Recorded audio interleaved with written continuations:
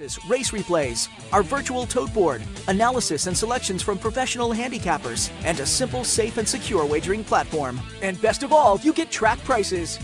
Going on now, it's Bet 50, Get 50. Simply open a Capital Bets account, bet $50, and get $50 cash back. CapitalOTB.com. Log on today.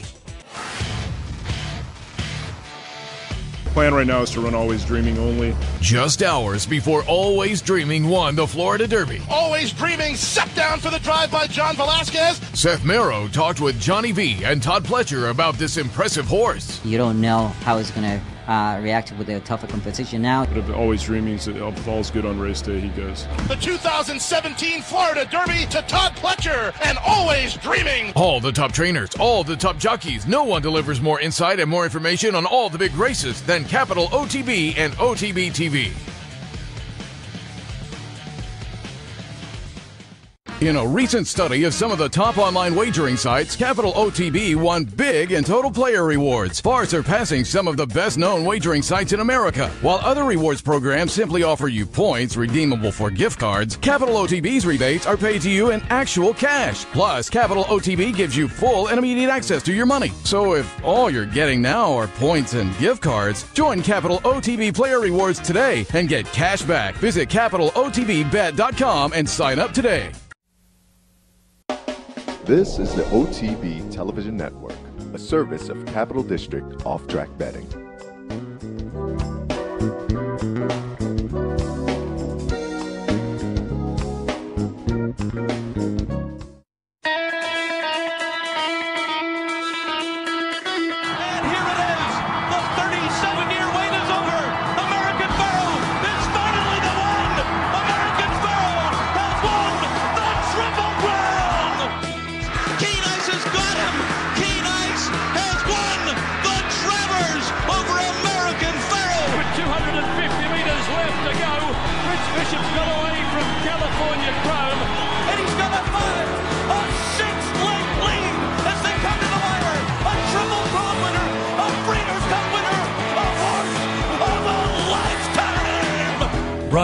Live from the Capital OTB studios, this is Racing Across America with Seth Merrow.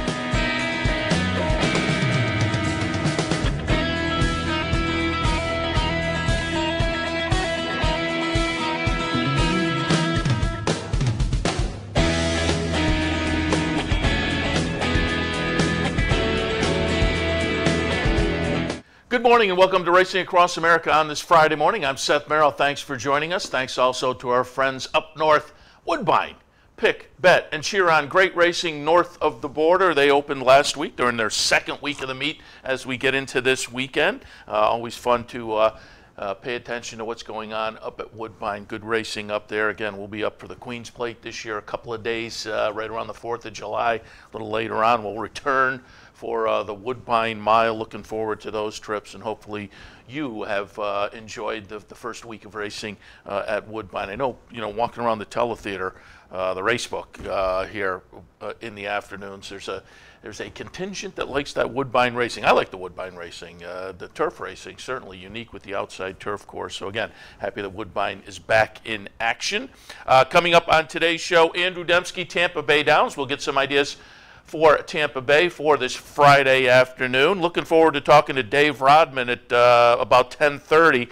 Going to talk. Maybe I'll get some ideas for Laurel for today. But boy, they have a nice stakes card tomorrow, particularly the two. Uh, three-year-old races. Three-year-old fillies in the Weber City Miss tomorrow. Three-year-old males in the Tessio. Tessio typically will produce uh, one or two at least potential runners for the Preakness. So looking forward to that. They have some other stakes uh, on the card tomorrow as well at Laurel. So we'll talk about some of that action with Dave Rodman again at about 10:30. And then as we approach the uh, the end of the show, Eric Zimny uh, from Penn National Gaming. He'll talk a little Charles Town for tomorrow because it's the Charles Town Classic. One and a quarter million dollars up for grabs. Certainly, Stanford and Imperative will take a lot of the action, but we'll get some thoughts on the Charles Town Classic and a nice stakes card uh, overall at Charles Town tomorrow. So we'll be talking about that uh, as we uh, proceed through this morning's show. Also, want to remind you some of the promos coming up because a couple of them are today, and I want to alert you the $100 win a bet contest.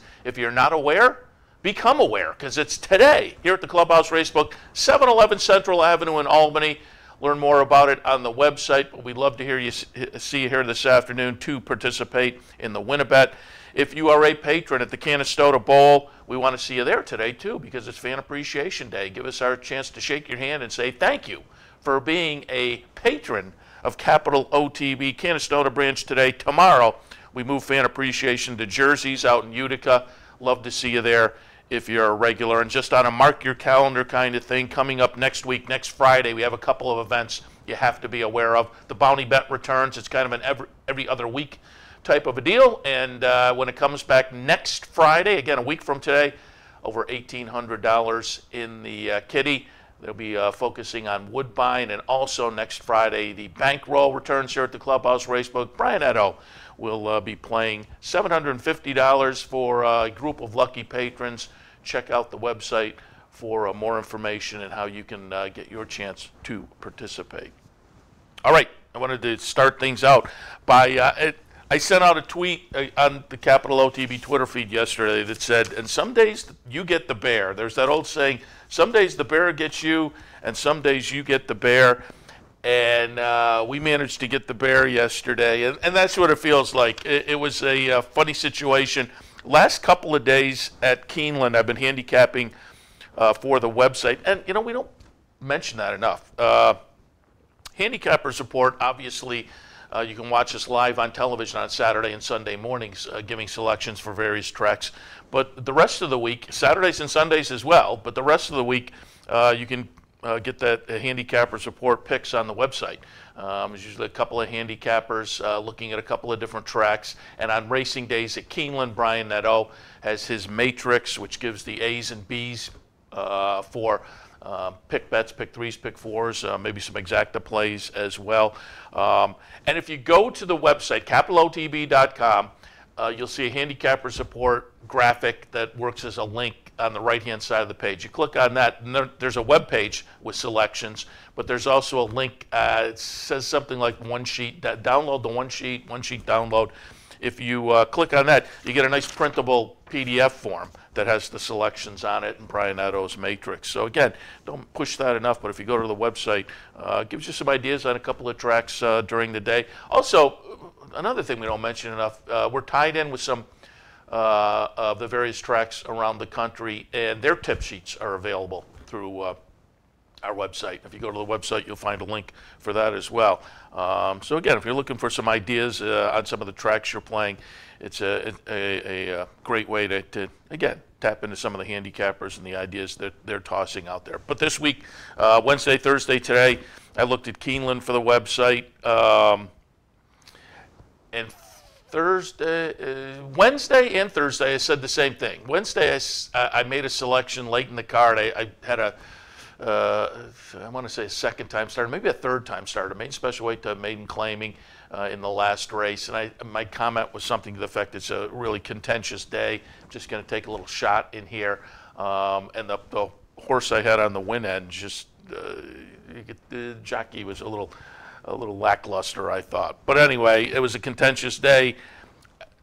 Today in, included yesterday as well, and I said uh, in my comment for the play of the day yesterday on the, the one sheet, the handicapper support uh, selections, that I thought it was a, a, a, lot like Wednesday's card. It was contentious. So we're just going to take a little shot in the last race. And in the last race, I, I recommended for the play of the day a four horse uh, triple box. Um, and as I say, it played on DQs, disqualifications. You hope half of the time it goes your way. If if the other half it's not going to, and so uh, they turn for home. One of my the longest of my four horses takes the lead at seven to one, and uh, looks like can win. But if not win, certainly will be in the top three. And my other three are making all very nice moves. Uh, have some momentum. Look to go by the pace setter, who at this point is still sitting second and then they don't get by the pace setter. So uh, on the sheet, I said, uh, I'm going to recommend a triple box, but you know, if you want to keep it a little cheaper, you can also exact the box. Well, I run first, third, fourth, and fifth. So it, uh, the, the worst possible outcome. I have a seven to one on top and can't even get in for the exacta. But subsequently, they, they, they the Keeneland uh, video shows the gallop out, and then like most tracks, they go back and show a replay of the stretch run. And as they show the replay of the stretch run, the number one horse who had been the pace setter and wound up finishing second, well, as the horse, one of mine that finishes fourth, kind of has, as I say, plenty of momentum, and I thought was going to go by. I realized the one kind of came out and impeded him. And, I, and so I thought, well, this is interesting. I mean, I hope the jockey at least makes the stewards look at this. I could only see the pan shot. I didn't see the head on.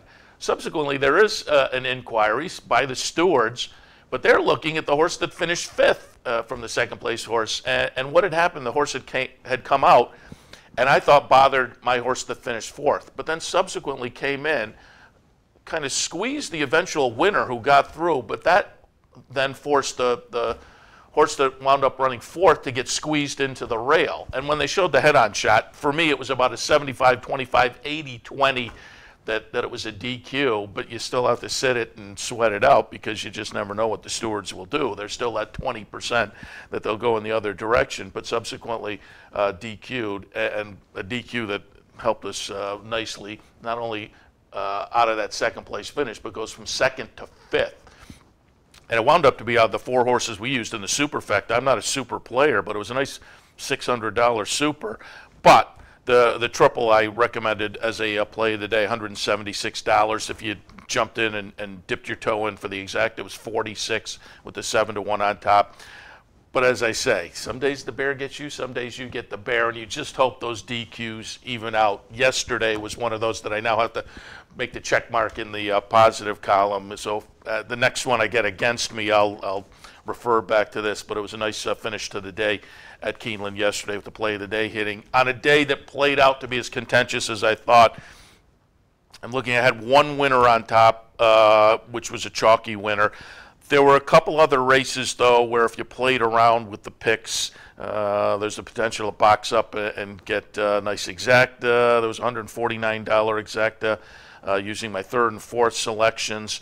My second selection completed the triple in there, so if you went four deep in a triple in that fourth at uh, Keeneland yesterday. It was an $800 triple. Uh, I can't say I had it because, again, for me it was a contentious day, but then there was a later race that, again, if you boxed them up, you could have wound up with things as well as the play of the day. So there were three races on the card. We're playing around with the picks. Could have could have uh, produced a little something, including the play of the day. So again, hopefully people were maybe, as I say, if you're unaware of that, check out the, the one sheet in the handicappers report. And play of the day for me, um, I don't really have a philosophy per se, but I'm looking for a play. I'm looking for a bet that I have some level of confidence in uh, on a day, and I try to mix it up. Just I'm an exacta guy. You'll find a lot of exacta exacta boxes as plays of the day, but I try to mix mix it up. Again, yesterday had a try box, but I've done some pick threes and pick fours and doubles.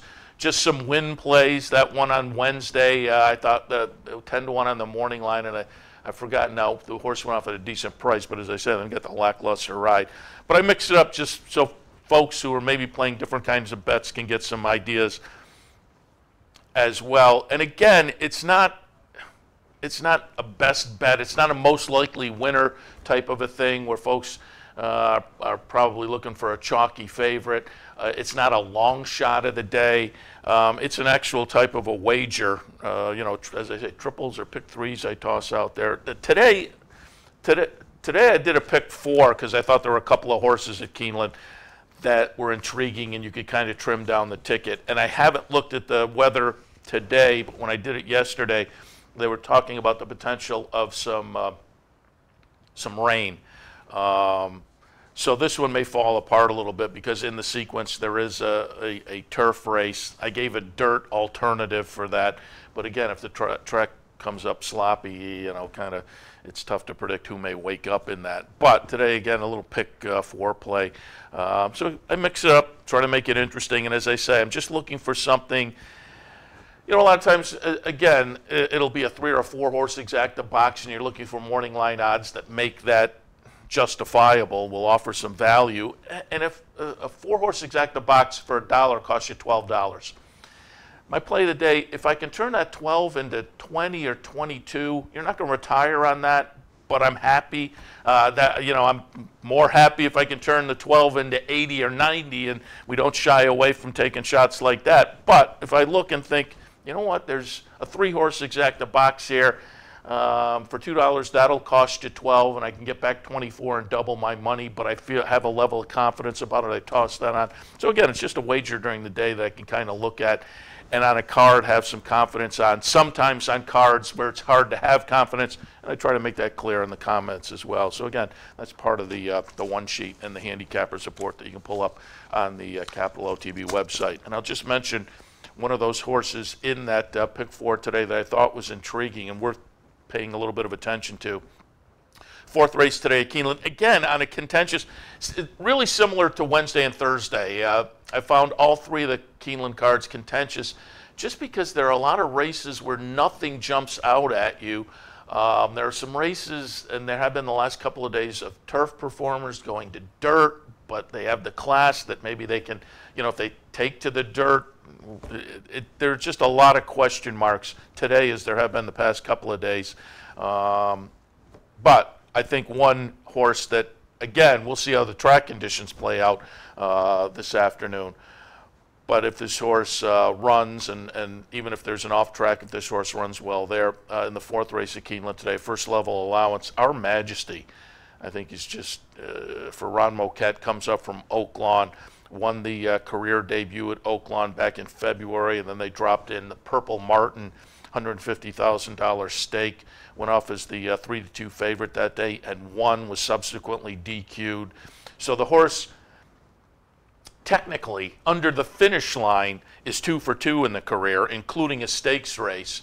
But with the DQ, becomes eligible again for this non-winners of one. And, and you, you, you sit there and say, gee, comes out of $150,000 stake. Why, you know, go back to this non-winners of one allowance level? Or Keeneland, it's worth $72,000. So with a field of seven in here, and again, I haven't looked, uh, I'm not sure if scratches are out yet, but just kind of looks like this horse lays over this field a little bit. Our Majesty again in the fourth, so you know you pick up a nice uh, chunk of that 72,000 and then move on. Uh, we'll see. Again, that, that was one of the reasons I jumped in with the pick four. It's not going to be a pick four that's going to knock it out of the park or allow you to retire there either if it does play out uh, this afternoon. But I thought there were a couple of uh, horses that you could kind of hang your hat on. And uh, again, uh, play it with at least a little bit of confidence.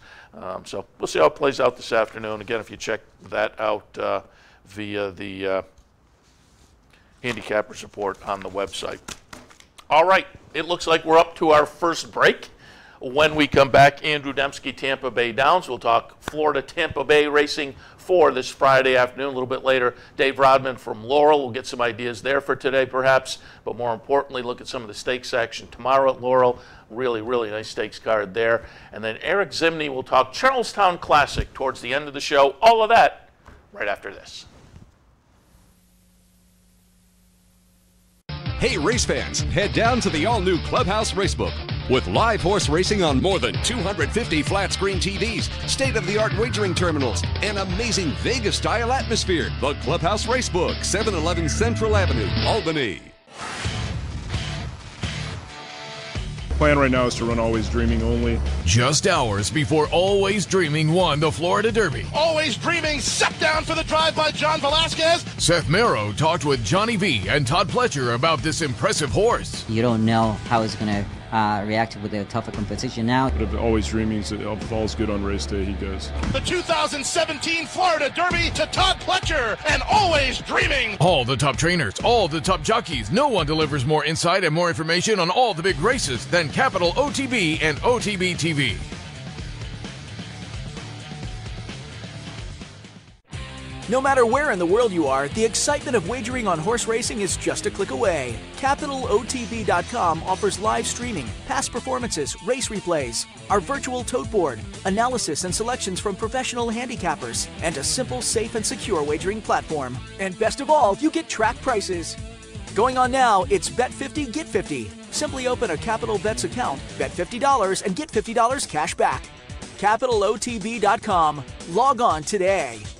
Hey, we've got a new show. We do. Absolutely. And they're up right here on the OTB TV network Sunday mornings. What's it all about? It'll be a lot of fun. Fast paced, plenty of topics, guests, handicapping, commentary, and maybe some opinions. I have opinions on my opinions. And uh, we will have plenty of them because you're on the show. and they're off Sunday mornings here on the OTB TV network, 10 a.m. each Sunday. Should be a lot of fun. Anthony Mormino, Seth Merrow. We'll see you there. I'm sorry, I went. With more than 60 easy bed and branch locations throughout the region, you're just a short drive from all the top tracks across the country and around the world. For a complete list of all easy bed and branch locations, visit capitalotb.com. Capital OTB. We're closer than you think. This is Racing Across America with Seth Merrow.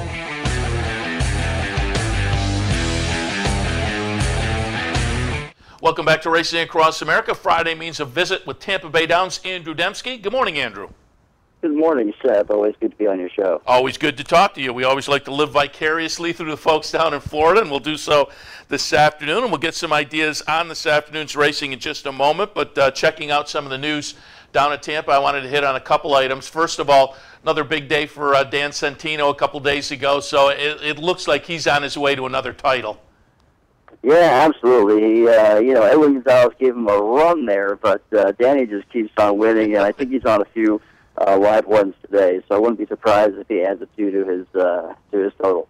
And, and I also picked up, and folks, I think will be very interested in this because this has become a very, very popular wager. Our colleague here on the network, Brian Nadeau, has has been talking about it for probably a year or so. He says that pick five is a bet where you don't have to to beat the favorite as often as you do in maybe a pick three or a pick four to still wind up with a good payoff. So the pick five has become very popular, and you guys are going to add another pick five to the card on some days. Yeah, we are, which is nice. Even on the uh, nine race program on Saturday, we're going to add one, so they're going to overlap. But uh, you are absolutely right. It's kind of funny. Sometimes you see if you, if you put a pick four ticket together, if you could stretch back one leg and maybe hit the pick five with the horse, it might multiply that, that payout by three or four yeah. times sometimes. So, yeah, the payout definitely is really nice in the pick five, and one of my favorite bets for sure. Yeah, it's become very popular. And again, for folks who are watching Tampa Bay, they're adding another one. So uh, keep your eyes open for that. All right, let's get some ideas for this afternoon. Before we do, update us on the weather.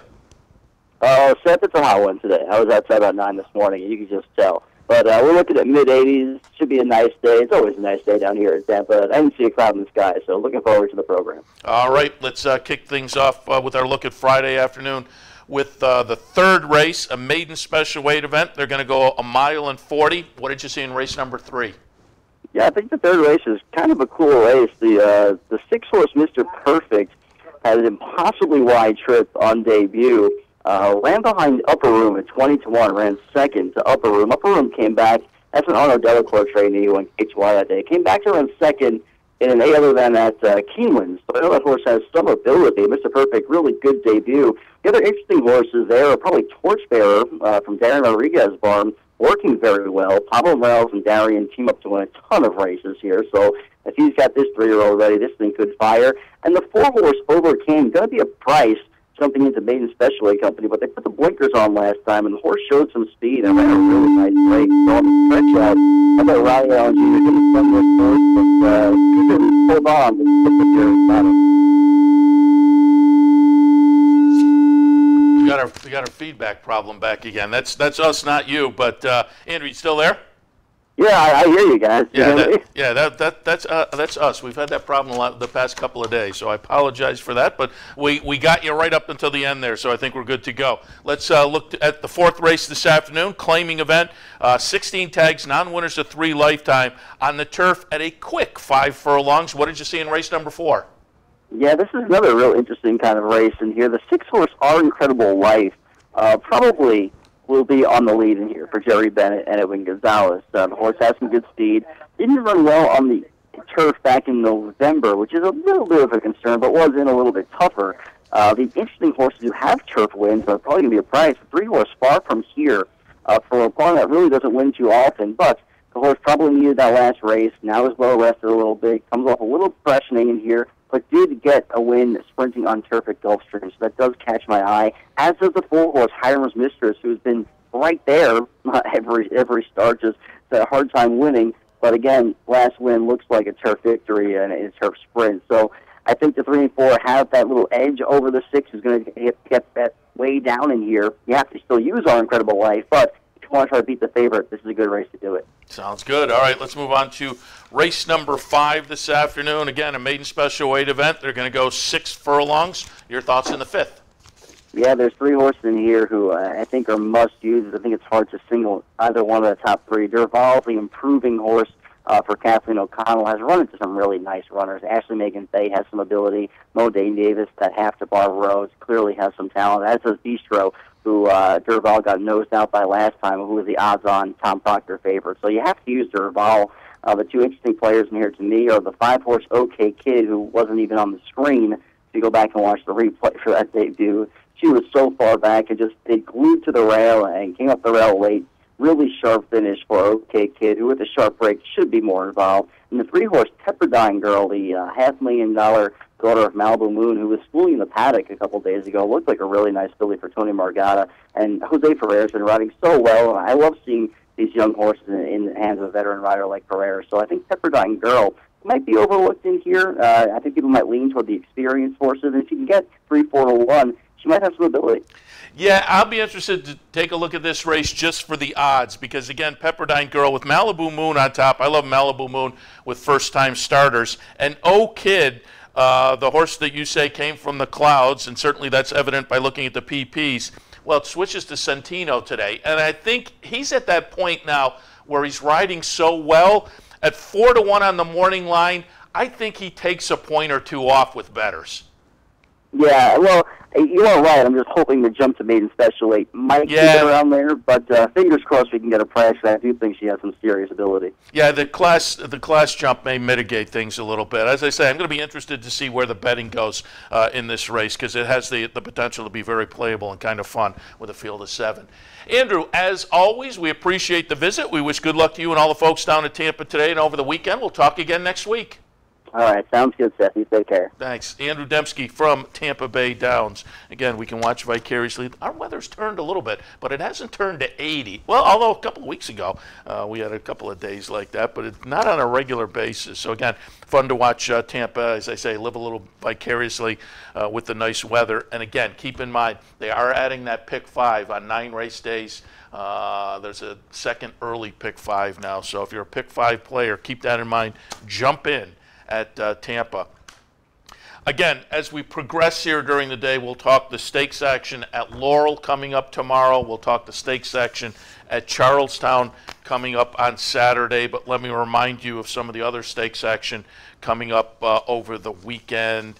And uh, we talked a little bit about this yesterday with our friend Jim Miller from Hawthorne, but the Illinois Derby, which, with the place on the calendar now, uh, this is a uh, you know, kind of a Preakness prep, you would have to think. And there's the potential for some horses to come out of here and take a look at the Preakness, or, you know, like the Pletcher Runner Hedge Fund, eh, look at the Peter Pan maybe a little bit later on or, or something like that. But it's a nice uh, race with a field of seven.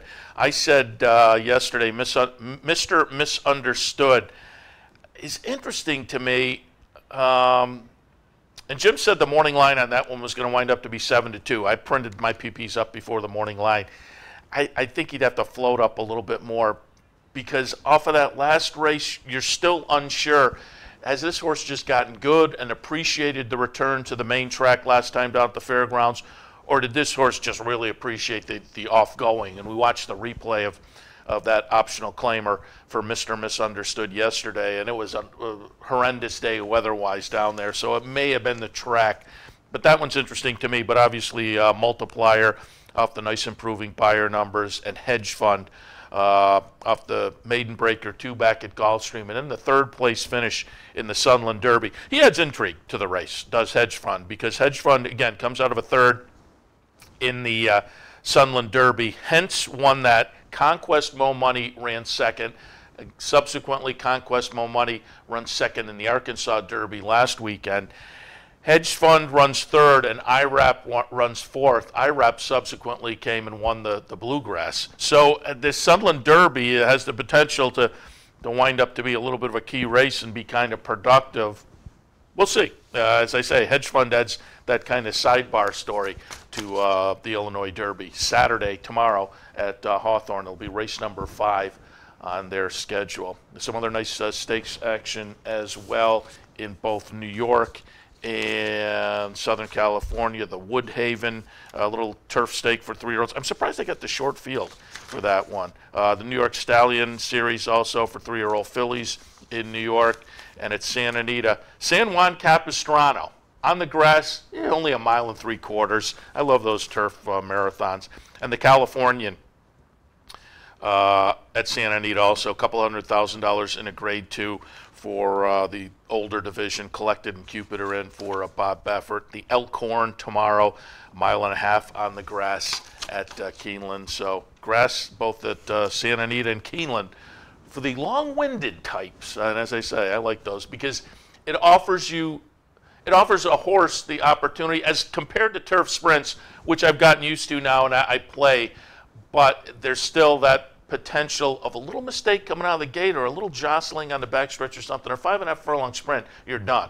Well, a mile and a half, mile and three quarters, uh, you can you can have three things happen to you during the race and still have time to, to make up for it, which I like. I think it then tends to to produce a more logical winner. Uh, usually, the mile and three quarters is maybe a little bit different uh, on that because they never go that that far. If you look down the past performances, look in the distant distance line, none of them have been that far. So maybe that's a little bit different.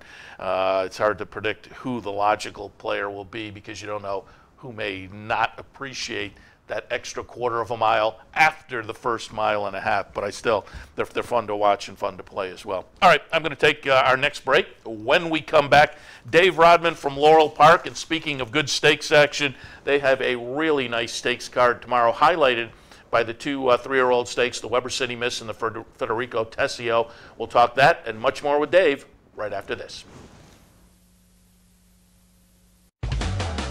This is Racing Across America with Seth Merrow.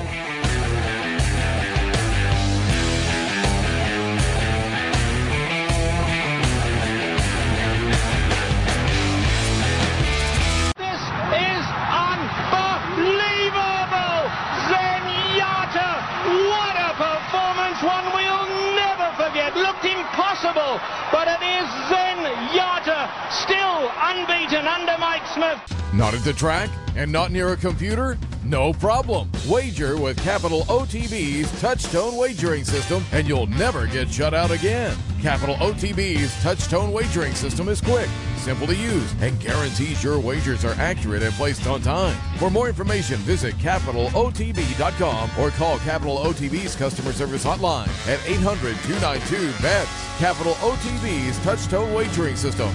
Never get shut out again.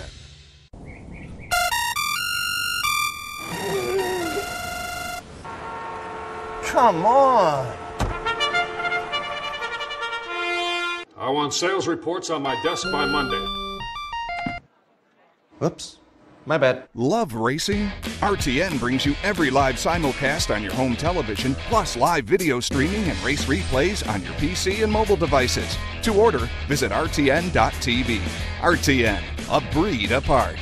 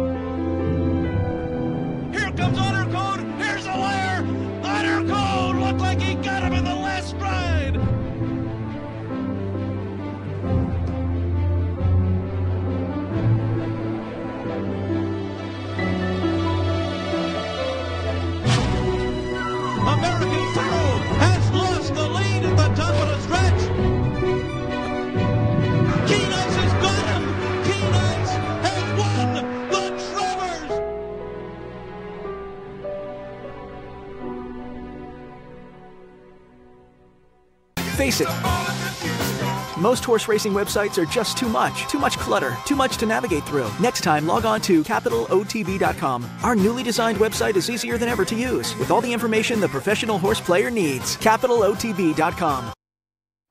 Welcome back. Happy to be joined now by Dave Rodman from Laurel Park. Good morning, Dave. Good morning, Seth. How are you today? Very good. Happy to have you on board. Talk a little uh, Laurel for Friday afternoon, but also tomorrow a really, really nice stakes card. We'll get into that in a moment. Before we do, you and I were talking uh, before we went on the air. It looks like today and tomorrow some nice weather.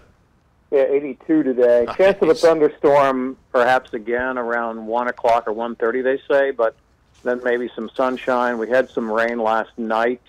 Um, more down to Laurel area than to where I live. It's been kind of spotty, but it didn't last very long. So just enough to wet the turf course, get it ready to grow. They're calling it good right now for the turf, and uh, probably fast on the main track. I would I would say we didn't get that much rain. All right, let's move into some uh, thoughts for this afternoon. We'll kick off in the fifth race. Optional claimer starter allowance, both at the $16,000 level. They're going to go seven furlongs. Your thoughts in race number five? Well, first, uh, I think it's a very tough card, but a really good card to handicap today.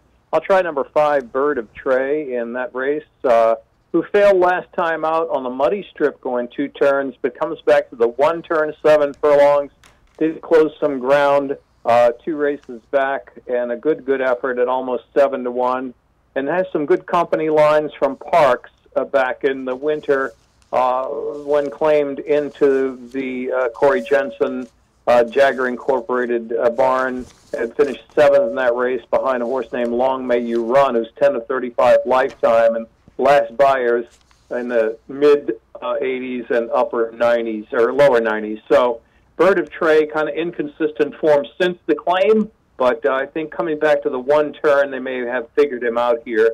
Bird of Trey to close some ground in a race with a good amount of early speed in it. Very good. Let's move on to race number seven. It's an optional claimer, 50 tags. Non-winners at one other than they're going to go three quarters of a mile. What did you see in the seventh? Uh, Hammy Smith Barn has kind of been quiet here uh, the first uh, few weeks of spring, but blinkers go on number five, Little Habit of Mine, who break, m- broke the maiden first time out here uh, during the winter at Laurel. They sent her away a little bit and put her on the shelf for a few weeks, and she's come back and worked okay. April 8th work a minute two fifths handily, very solid comparatively for other horses going five eighths that morning. It was the third best work of many that morning. And in her maiden race, where she went basically wire to wire, um, well, there were a couple of fillies that came out of there to run powerful runs, like Adios Annie, the runner-up, came back to break maiden next time out. Another filly came back to run a much improved effort. She didn't fire in her second out, but she's had a little time off since early March, but has come back with some good work. So blinkers going on today after a little rest and a tough heat here. Going to use her with the four. She's stunning in the two. Haley's flip from the Gary Capuano barn, who was a bit unlucky last time out. Both of those fillies come out of the a stroll in the park race, which has produced a winner. Actually, a stroll in the park has come back to win a little stake at Mahoning Valley. So going five, two, and four in the seventh race, and maybe a good exacta box, hoping to get the better price home. And, and, as you were talking, I was looking, kind of perusing the field here. The number one horse, Little Firefighter, Linda Rice, who a has started 37 horses down there, so it's kind of a home away from home, but she's firing at a 51% win rate. Yeah, that's just incredible. Rice and Karamanos have been unstoppable here uh, at Laurel Park uh, in the, in the uh, winter spring meet, and. Uh, yeah, she she was impressive. She added the blinkers last time out, but again, that was an off track. Very good speed from her. I think that uh, I'm going to try to get a filly who'll sit maybe perhaps a little bit off the pace, like Little Habit of Mine. I think she can do that. And then uh, maybe the two Haley's flip and the four She's Stunning to come run at her. Sounds good. All right, let's uh, take a look at race number eight this afternoon. Maiden Claimer, 20 to 25 tags scheduled on the turf at one mile. Your thoughts on the eighth? Well, it, it's not a strong field here for Maiden 25 in the turf, so I'm going to take a shot with a horse that's taken him some time to get to the races by Shakespeare out of Mutakddim Mare, who had five dirt wins, did the dam of Red Romeo, the pick in the uh, seventh race, eighth race today. First time starter from the James Smith barn. Shakespeare first time starter. Uh, his dam uh, by Mutakddim uh, Aronia, I guess it is, uh, had five wins on the dirt, three wins on synthetic, and one win on the turf. So she was quite versatile and has a good work here April 15th at Pimlico, 48, one fifth breezing. The barn struck with first time starters before. They actually have a win at the meet, the Jimmy Smith Barn. Uh, they ship down here occasionally Laurel Park, and and I like that work because it was the second best of the morning.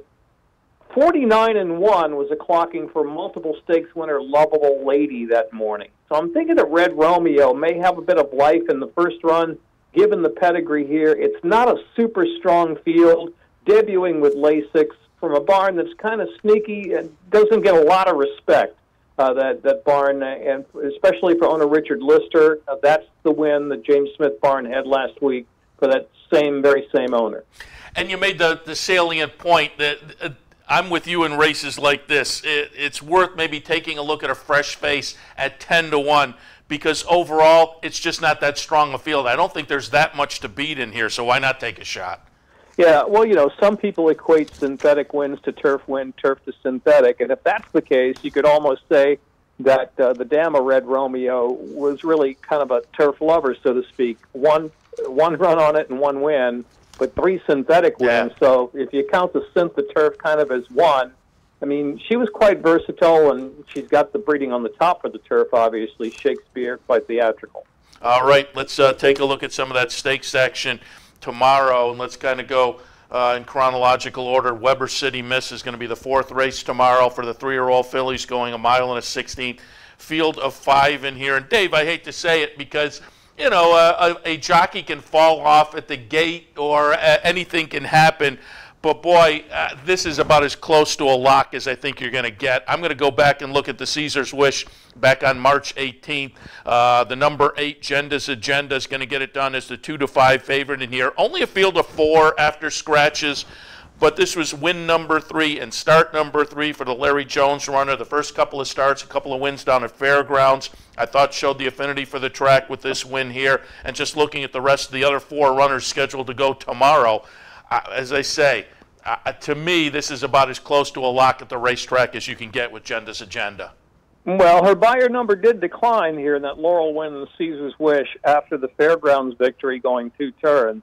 But she was just kind of loafing around and really wasn't extended to do her best in that race as she was much the best of the 20 cent to a dollar favorite. She'll be four for four. She wins this race tomorrow, and she'll get an invite to the Black Eyed Susan Stakes, the Weber City Miss, tomorrow's fourth is a win and you're in invitation to the Black Eyed Susan Stakes on Preakness weekend, Black Eyed Susan Day, the day prior to Preakness Day. Uh, and also we have the Tessia we'll talk about in a little bit. That's a win and you're in as well, uh, getting a spot to the Preakness. So the Weber City Miss, everything probably goes through Jenda's agenda. I mean, Forever Lisa will maybe put a little bit of a scare into her uh, in the Caesar's Wish. She chased the whole way and, and only beaten two lengths, to be honest with you there. So, um, yeah, well, uh, on numbers, if she runs her best number, she'll win. But I guess people who really look at numbers and say why the decline in their last start may have a little pause for cause here. Yeah, yeah, you can find a, a chink in the armor if you're looking in that direction. I just, boy, as I say, to me, that's uh, as good of a lock as you can get. But uh, again, forever, forever Liesel. And uh, Pletcher has a runner in that, that broke the maiden last time with the move down to Laurel. So maybe a horse for a course angle there. But uh, we'll see. We'll see what Jenda's yeah. agenda can do. And uh, and Jenda's agenda was uh, written by Gabe Saez, gets McCarthy, leading rider here at Laurel Park tomorrow, who decided to get away from Star Super from the Cal Lynch barn to go for Agenda's agenda, obviously with a bigger number and whatnot. But I just wanted to note that Star Super will be ridden by Sheldon Russell, who's coming back today to Laurel Park for his first mounts in a long time. Uh, again, another injury sidelined him. He's six-time uh, meet champion. He won the 2011 Laurel Pimlico meet here. He's been out of the races for seven months with a right hand issue that they initially didn't think was much, but then required surgery.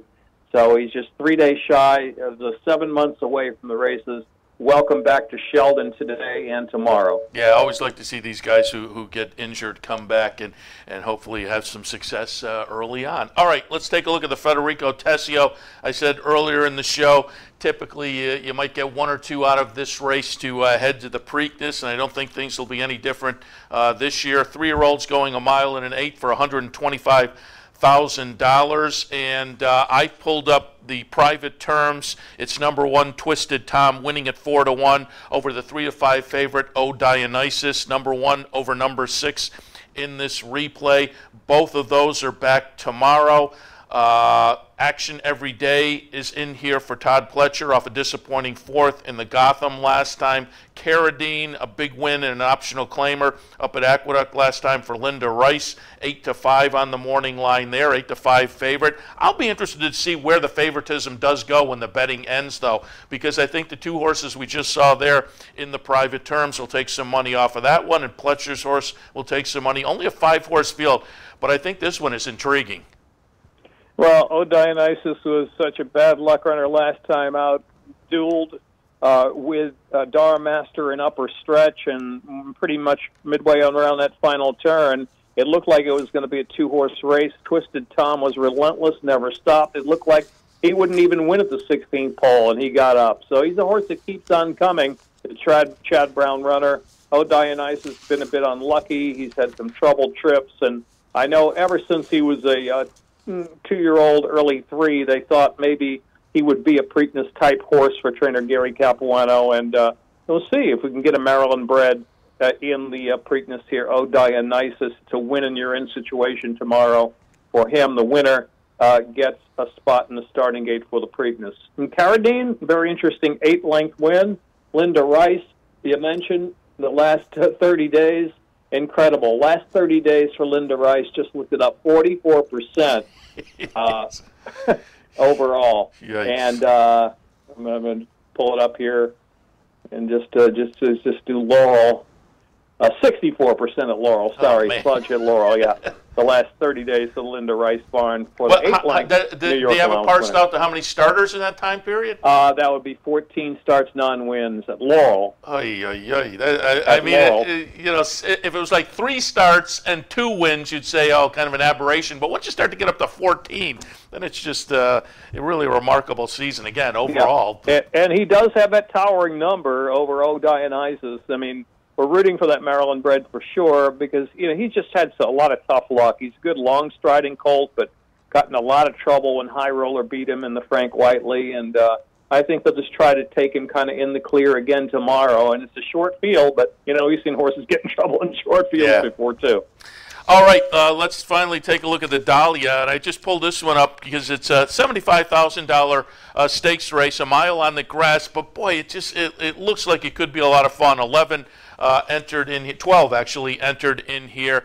Uh, Dana Lovna for uh, Graham Motion comes in uh, off a layoff since last November, but numbers-wise could be a little bit uh, intriguing as a, uh now four-year-old, all in fun. You have another one that's coming off a, a layoff since last year, and yeah, I'm going to draw a line through that last race over the soft turf at uh, Belmont, but the numbers just before that were pretty good. But again, it is off a layoff. Sky My Sky is in for uh, Mark Casse. But I pulled up a replay from Fairgrounds, the Daisy Divine, on February 25th. The horse we're looking at is going to run third, the number two horse, Cambodia. The winner in here, Believe in Birdie, had a pretty good season down there. Subsequent to this race, Believe in Birdie won the Red Camellia, uh, going a mile the, on the turf down at Fairgrounds back uh, in the middle of March. So flattered this performance as well. But again, number two, Cambodia, right in the mix here up until late, winds up a close-up third. And on the numbers, I think Cambodia is intriguing for Tommy Proctor. But what are your thoughts on the Dahlia? Yeah, veteran rider Chris DeCarlo, often overlooked. I mean, the Proctor barn, the horse is one for one at Laurel. As soon as Proctor got her in the barn here back the fall of last year, she responded with a good-looking win at five to one, and of course, rubber stamped her improvement down at the fairgrounds, third in the Krantz, and then the third in the race you're showing now behind that Believe in Birdie. So, uh, five-year-old has only started eight times, so she uh, she's uh, certainly lightly raced, but uh, she had enough tactical early speed in this uh, mile at Laurel on the turf to to get position. A horse who may not have as good an early position, but intrigues me is number one, Donna Lovna, who closed from well back at set, Anita, to finish only a nose behind Clo- Cover Song in the Grade Three Autumn Miss there, and then uh, last year uh, was behind my impression in her last start we saw in November of uh, 2016 as a three-year-old. My impression, you might remember, won the Winter Memories uh, there um, in, in beating in beating Donnie Lobna, and also was uh, winner of the Grade 3 Commonwealth Oaks over this Laurel Turf course last year in uh, September. So she's a Sean McGahey filly who's got some credentials as 5 of 10 lifetime. Uh, Dana Loma, very intriguing here from the Graham Motion Barn off the shelf. Uh, but, you know, in all of her races here in the States, she's shown a lack of early speed, a little bit of a concern. Uh, we'll see how that turf course plays. We've had some rain. We'll see how it plays uh, into today, coming into tomorrow. All right, Dave, we're, we're having our feedback problem again on the phone. I don't- noticed. That, that's, a- Yeah. that's on our end. I don't know, it's happened the Oh, last okay, I couple of days. my phone. My, Uh-huh. my, my apologies for that, but uh, we got your, your analysis there. And uh, certainly, again, really, a really. garbled analysis is sometimes as good as no analysis, you know. I, I know that feeling. I, I have been there. Uh, but we appreciate the thoughts. Really, really nice stakes card tomorrow, again, with a couple of three year old races that could play into both of those divisions as the season uh, plays along. As you say, Black Eyed Susan and Preakness, automatic uh, berths to the winners there. So we'll be paying attention And- tomorrow. And other stakes uh, tomorrow as Yeah. well. Um, you know, we've got the Henry Clark, the Dahlia we mentioned, the Tessia, also the Primonetta tomorrow with the Weber City Miss. So five stakes tomorrow. Oh, and before I let you go, uh, I, I should have pulled up the replay today, but I, I forgot. Uh, uh, last Sunday, Ben's cat, a little bit disappointing, was in the mix. Um, but but has there been any any kind of feedback uh, in this pursuing you know five days? Um, I, as far as I know, he's come out of the race just fine. Um, it was a little disappointing in that in that he broke on top and then had just some minor traffic, never really steadied, but he kicked very well. He galloped out strongly, and it was a blanket finish. First race off the shelf. It's not his ultimate goal. You know, his Yeah. goal is to come back, obviously, to to the McKay uh, sprint at, at Pimlico. So I think it sets them up just right. You know, they didn't uh, wring him dry here in this first uh, first start off the layoff. Strong gallop out. I watched him come back. He looked great. Got a great attitude, and he, he looked super on the track. So um, you know, when you're fifth, beating those three quarters of a length for all the money there. Um, you know, I thought it was an exceptional race. So uh, let's let's root for the cat to come back to top form and do it again. Yeah, and that's the point to make. Uh, when somebody says fifth, you think, oh, but you look at the chart, look at the race. It, it was a better performance than the fifth place finish uh, might It indicate. wasn't, yeah, it wasn't a nonchalant fifth Yeah. because you know he broke sharp, he broke right on top. You know, some people, well, maybe Trevor should have kept him closer, but that's just, you know, his sharpness out of the gate just shows me that he's, you know, he he's eager and he and he's ready, and he's, you know, you can't change the running style of the cat. You know, he he likes to make that one little run. Um, and you know, had he gotten outside, maybe I don't know, would he have kicked better? It's, it's tough to say, but you know, Trevor's won so many races saving ground like that and getting through and shooting the gap, and you know, uh, he's done it before uh, on on Ben's cat uh, a, a couple of times with that ground saving move. Yeah, so we'll look forward to uh, his next start and a, and a rebound potentially. Dave, as always, appreciate the visit. Good luck to you and everybody down there over the weekend. We'll talk again next week. Okay, Seth, take it easy. Dave Rodman from Laurel Park. We'll take our last break. When we come back, we'll shift our attention Charles Town. Big stakes day there tomorrow. Charles Town Classic on the agenda. One and a quarter million dollars up for grabs. We'll touch on that with Eric Zimny right after this. Now get all the racing information you need right on your mobile device with Capital OTB's new mobile app. Wager anytime, anywhere, right from your smartphone or tablet. Watch, wager, and win right at your fingertips. The new Capital OTB mobile app.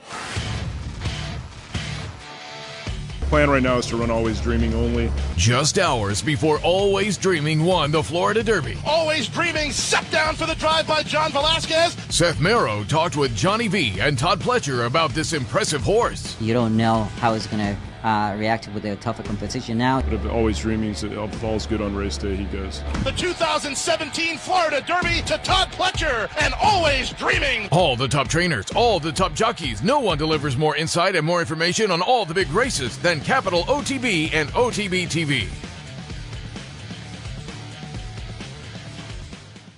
Is your favorite track in Kentucky, but you're in upstate New York? At Capital OTB, your favorite tracks are closer than you think. With more than 60 EasyBet and branch locations throughout the region, you're just a short drive from Keeneland and Churchill Downs. For a complete list of all EasyBet and branch locations, visit capitalotb.com. I'm Mark Cusano. Join me Saturday mornings at 10 for Down the Stretch. We'll inform, analyze, and welcome in the biggest names in racing.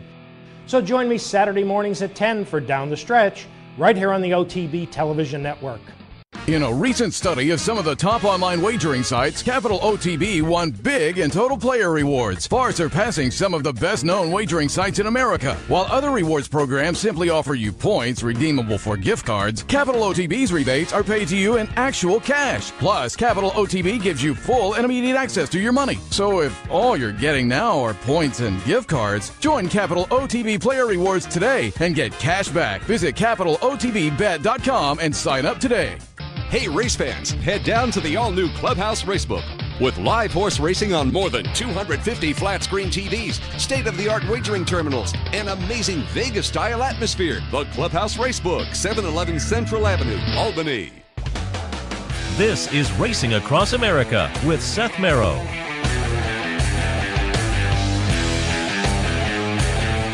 Welcome back. As promised before the break, we're joined now by Eric Zimny from Charles Town. Good morning, Eric. Morning. Thanks for having me on. Thanks for joining us because a big day tomorrow. I wanted to alert our patrons to it so they can jump on board. Lots of nice stakes action at Charles Town, highlighted by the Charles Town Classic. We'll get to that specifically in just a moment. But first, an update. What are you looking at weather-wise? Well, right now it's it's sprinkling pretty pretty lightly. Um, it looks like the rain or the bulk of it is going to hold off until at a bare minimum later in the card and probably after the card. So Good. we might get lucky. It's going to be a little chilly, uh, but we got our fingers crossed for the best. All right, let's uh, take a look at the Charles Town Classic. Scheduled post time tomorrow about 5:35. One and a quarter million dollars. Grade two event, a mile and an eighth. I pulled up a replay from last year's edition. Why? Because last year's winner's back in tomorrow. Number seven, Stanford gets it done on the front end all the way around for uh, Todd Pletcher and Javier Castellano. Castellano not riding tomorrow. John Velazquez is on board, but he's been on board for the last few races, including a win down at Tampa most recently for Stanford. But again, this is last year's edition. Stanford proven over the track, but Imperative also in tomorrow. He's a winner of this race as well. So kind of fun. A couple of previous winners of the Charles Town Classic in a scheduled field of eight, including Matt King Coal for uh, Linda Rice, who could be a little bit intriguing. But what are your thoughts in the Classic? Well, you know, I, I know there have been some articles written, and you take a look. There, there might be a little more pace on in the race than there was last year. Um, you know, Stanford kind of kind of made the lead early last year and, and was never really challenged. I mean, I think he, I think the opening half was almost 49. Uh, but tomorrow, you know, you got Matt King Coal, who certainly got some ability for Linda Rice, and uh, you know, Cautious Giant, who was another of the Loooch Racing horses who's uh, been sent in here, and he's a sprinter who's stretching out, so it looks like he's going to, you know, I'm sure show some speed. And um, you know, Stanford breaking from the rail. I don't know if he needs a lead, but his his hand might might be, uh, you know, forced a little bit from down there. But uh, you know, I think it's a pretty balanced race, and I don't think it's going to be skewed to any type of running style.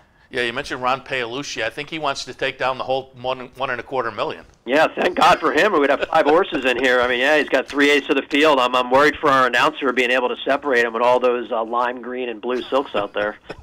uh, and uh, he's a character, and he's uh, entered with uh, some uh, logical players in here. We'll see how it works out. Let's just quickly touch on some of the rest of the card because, again, a really nice stakes day just prior to the Charles Town Classic, the Sugar Maple. That one's intriguing because a horse that lightly raced four-year-old, but Kinsley Kisses for uh, uh, Todd Pletcher. I've kind of liked that one since the second career start over at Tampa.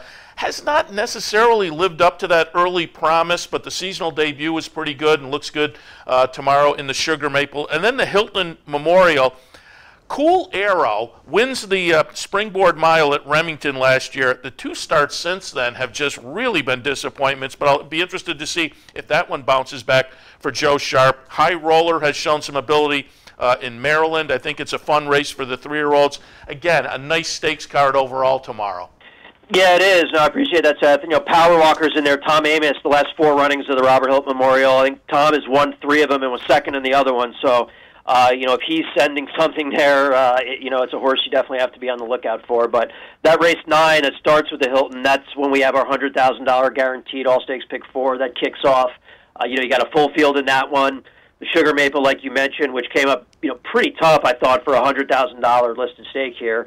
Uh, the Classic, and then it ends uh, in the 12th race, which is a West Virginia bred stake that features probably the two best West Virginia breds in training, and Charitable Annuity and Slip the Cable. So it's a pretty interesting sequence. Uh, gets underway at about uh, 4:28 Eastern. Uh, and you know we, we, we hope there's some pretty good action in the pool. Yeah, again, nice stakes card highlighted by that uh, Charles Town Classic. As you say, a $100 guaranteed pick four, all stakes pick four amongst the uh, wagering opportunities. Looking forward to it.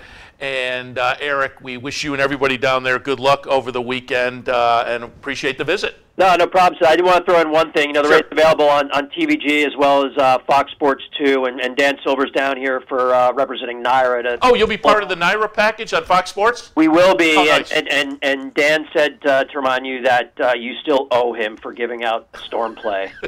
still owes you. You still owe that Storm Play to you. All right, all right. Well, I'll, I'll catch up to him this summer at Saratoga. Beautiful. Thanks, Seth. Thanks, Eric.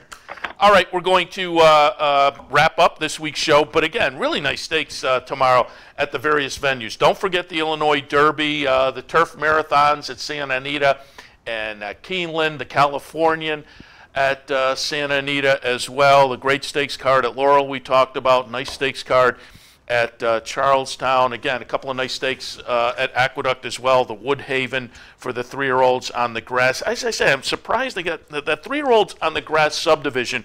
Usually, you get nice full fields. This is kind of a short field uh, in here tomorrow in the Woodhaven, but also the New York Stallion for some three-year-old fillies uh, tomorrow at uh, Aqueduct. So again, really nice stakes action, top to bottom, across the country, as it were, on this uh, Saturday late in April. All right, let me hit some of the promos and events coming up here at Capital OTB because again, a couple of them are today. First is the Winnebet contest here at the Clubhouse Racebook, 711 Central Avenue in Albany. Come on down this afternoon and participate. Swing by the Canastota Bowl if you're a patron there and let us tip our cap to you and say thank you. It's a fan appreciation day out in Canastota, New York, and tomorrow out in Utica, Jerseys, another chance for us to say thank you to the fans that participate regularly at Jerseys. Thanks to uh, you and stop by and let us officially say thank you. And again, mark it on your calendar next Friday. The uh, Bounty Bet returns 1800 plus in the kitty. We'll focus on Woodbine for a late pick for more info on the website. And the $750 bankroll returns here at the Clubhouse Racebook. Again, a week from today with Brian Nadeau. Mark it on your calendar. As many people as possible we'd love to see here. Always great to have a big crowd, and it's always a lot of fun here. Clubhouse Racebook for a bankroll. That happens next Friday. All right. Want to thank our friends at Woodbine for their sponsorship. Woodbine, pick, bet, and cheer on great racing north of the border. Don't forget, uh, hey, don't forget, again, I said at the top of the show, we don't remind you enough. Handicapper support uh, selections available on the website each and every racing day. Swing by and click on the link. And if you click on the one sheet download, then you can get a nice printable PDF version of it. Um, but again, if you want some uh, thoughts or suggestions, and as noted also, uh, we're tied into some of the tracks around the country. There's a link on the website as well to pick up uh, tip sheets from various uh, tracks from their local handicapper, which is always a, a, a, nice perspective. So again, I want to remind you of that. But always want to remind you on Friday of the great morning programming here over the weekend, 9 o'clock tomorrow and Sunday, the handicapper support, 10 o'clock tomorrow. It's down the stretch with Mark Cusano, 10 o'clock on Sunday. And they're off. Anthony Mormino will be in with me on Sunday morning. So looking forward to all of that action over the weekend.